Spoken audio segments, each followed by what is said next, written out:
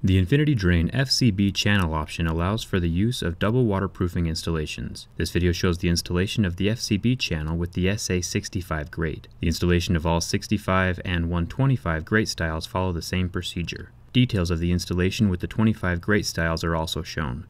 The components shown are the contents of the FCB channel with the SA65 grate. Determine the center location of the drain outlet and cut a hole in the subfloor. Typically, linear drain should span from wall to wall. Create a pre-sloped layer for the shower pan. Install drain body into the floor and attach to the existing waste line.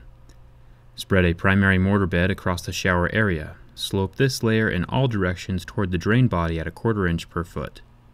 After the mortar layer is dry, apply adhesive and spread waterproofing membrane as per manufacturer's instructions and local code. Reattach the top clamp down plate to the drain body over the waterproofing membrane using bolts and tighten. Screw threaded nipple into clamp down drain to desired height. Spread a thin layer of mortar along the dimensions where the assembled channel is to be set. Apply a bead of silicone caulk around the outlet of the assembled channel. Set the channel into the threaded nipple and mortar. Ensure the channel is completely level.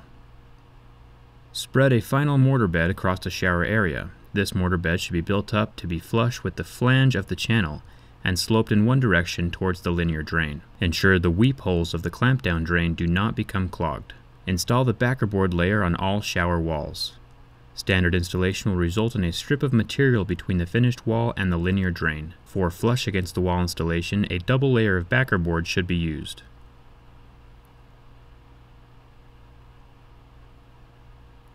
Apply a liquid or fabric membrane to the channel's flange and shower area, as per manufacturer's instructions. Protect the inside of the channel to avoid waterproofing from being applied to these inside areas. Lay thinset and tile to the inside edge of the channel's flange. Do not allow the tile to finish past the inside edge.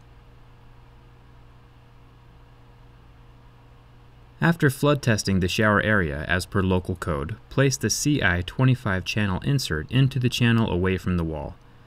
Spread a layer of thinset into the channel insert and floor. Then lay finishing tile up to the edge of the channel insert. We offer a broad selection of decorative choices and installation options that are proudly fabricated in Long Island, New York.